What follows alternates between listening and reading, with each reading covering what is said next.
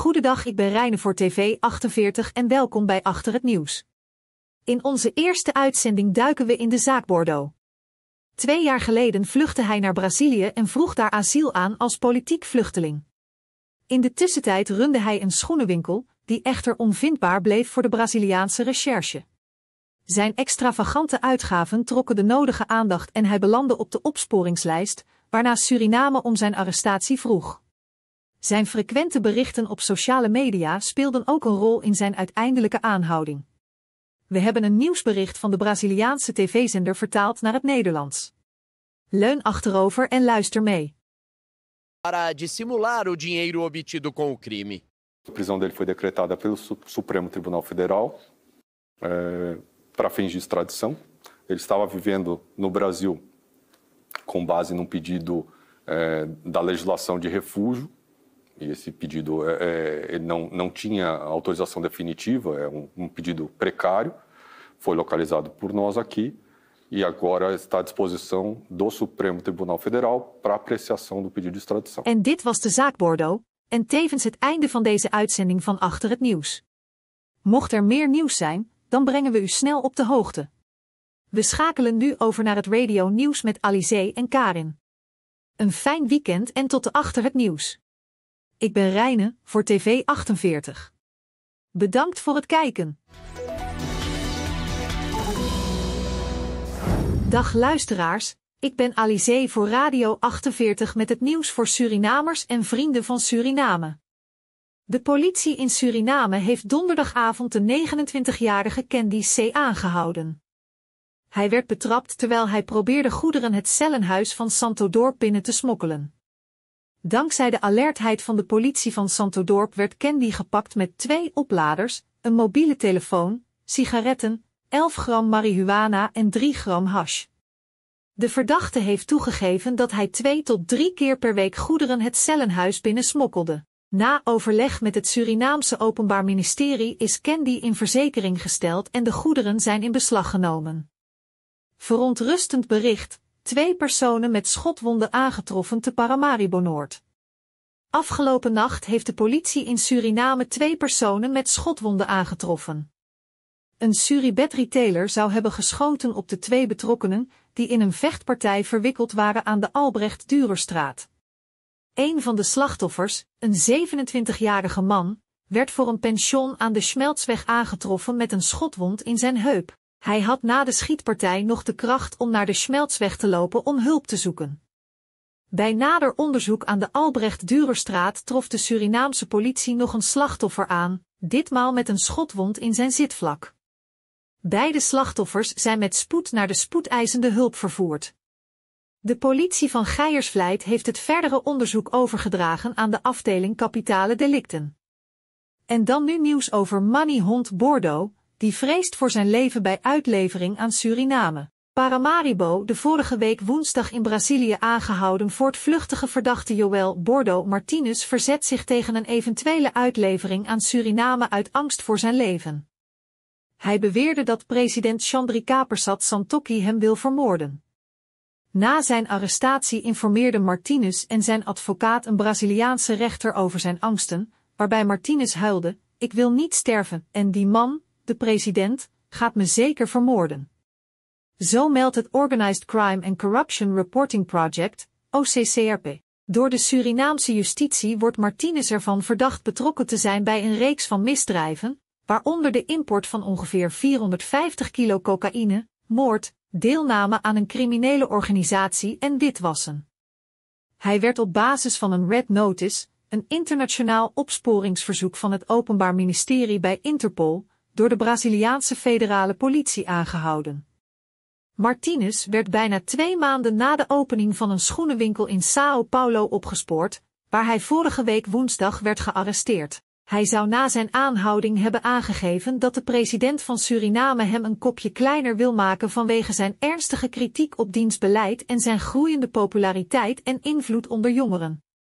Op zijn Instagram-profiel toont Martinez posters van zijn shows naast flitsende foto's waarop hij pronkt met gouden kettingen, ringen, armbanden, auto's en geld.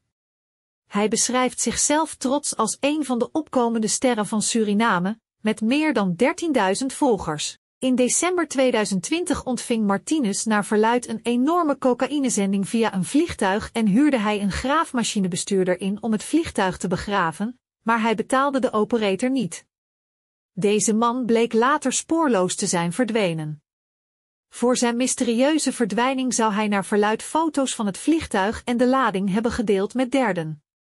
Na intensief onderzoek en met hulp van getuigenissen van twee gearresteerde personen ontdekten de autoriteiten het begraven vliegtuig in Marowijnen. Getuigen beweerden Martinez en zijn trawante cocaïne uit het vliegtuig in zijn auto te hebben zien laden.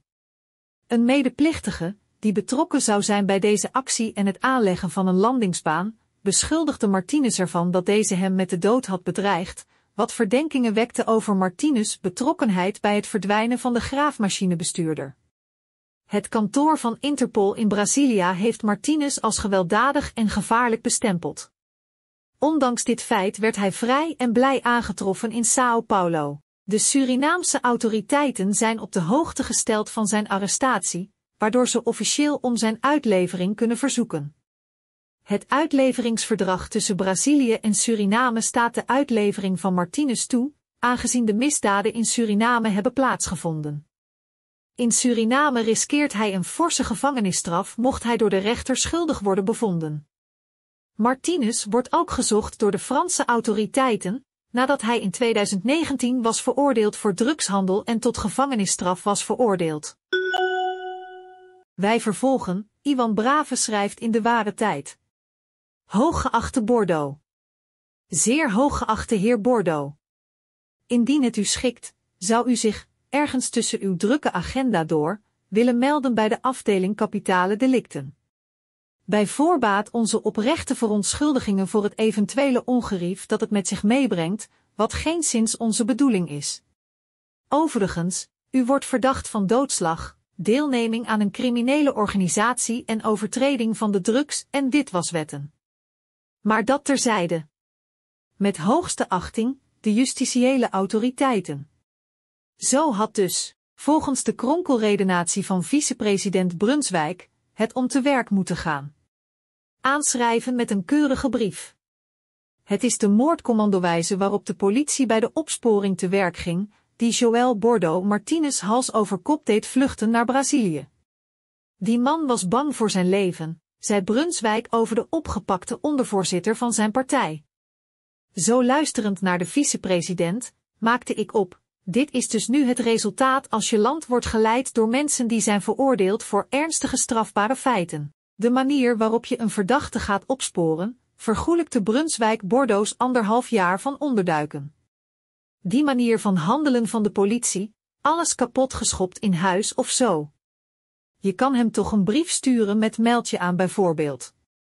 Brunswijk bedoelt kennelijk zoals Bouterse tot aan het eind steeds schriftelijk is benaderd tijdens het door hem zelf opgerekte 8 december strafproces. De rest is onvoltooide geschiedenis. Zo luisterend naar de vicepresident, maakte ik op, dit is dus nu het resultaat als je land wordt geleid door mensen die zijn veroordeeld voor ernstige strafbare feiten, nationaal en internationaal. Brunswijk prijkt zelf ook op de internationale opsporingslijst van Interpol, dus hoe anders moet hij dan opkomen voor zijn partijondervoorzitter? Het was weer een verbijsterende demonstratie van normvervaging en de omgekeerde wereld. Niet zijn eigen geweten maar de opsporingswerkwijze heeft Moneyhand als een klein geldpuppy naar Brazilië doen vluchten. Zorgelijk is dat een regeringsleider serieus meent dat je een verdachte van zware criminaliteit per brief kan verzoeken zich te melden. Beschouwing. Bordeaux zal een flink toontje lager gaan zingen. Zelden zal er zo'n collectief gevoel van opluchting zijn geweest in Suriname dan toen de Braziliaanse justitie op 29 mei bekendmaakte dat Joël Bordeaux Martinez, ondervoorzitter van coalitiepartij ABOP, in Sao Paulo was aangehouden. Met zijn arrestatie is een gezochte crimineel van de straat gehaald. Bordeaux zal in de harde wereld van een Franse cel waarschijnlijk een toontje lager gaan zingen. Na zijn vlucht uit Suriname in november 2022 vond Bordeaux onderdak in Brazilië, waar hij goede contacten had. Echter, zijn voortdurende activiteit op sociale media maakte het voor de Braziliaanse opsporingsdiensten uiteindelijk een koud kunstje om zijn verblijfplaats te achterhalen.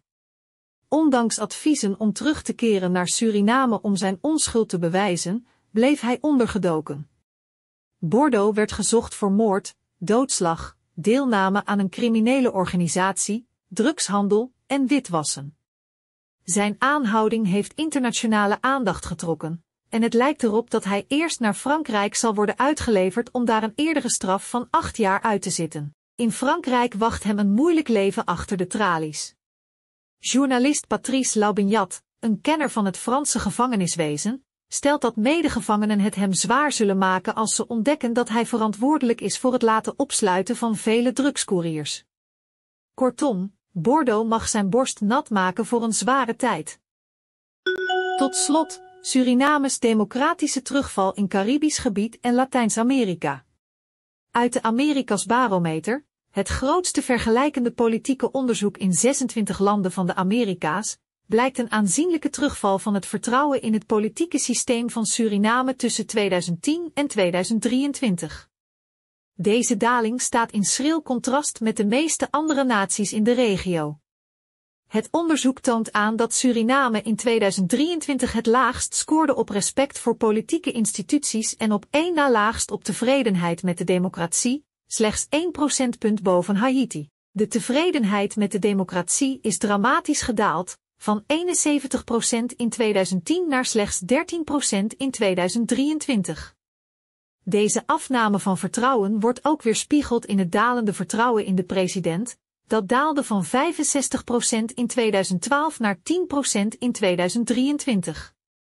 De economische neergang, samen met toegenomen etnische rivaliteit in de politiek, wordt genoemd als mogelijke factoren voor deze daling. Suriname kampt met ernstige economische uitdagingen, waaronder een schuldencrisis en stijgende inflatie. Dit heeft geleid tot protesten tegen bezuinigingsmaatregelen, met als gevolg politieke en sociale onrust.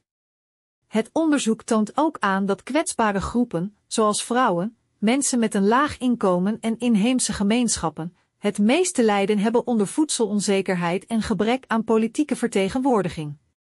Hoewel veel Surinamers ontevreden zijn over de situatie in het land, blijft een groot deel toch steun betuigen aan het democratische systeem. Dit illustreert de complexiteit van de politieke situatie in Suriname. Om de Surinaamse democratie te versterken, zijn twee cruciale stappen nodig: het versterken van anticorruptiewetgeving en het handhaven van wetten op financiële transparantie van politieke partijen. Dit is het voor nu, wij zijn morgenochtend terug met meer updates.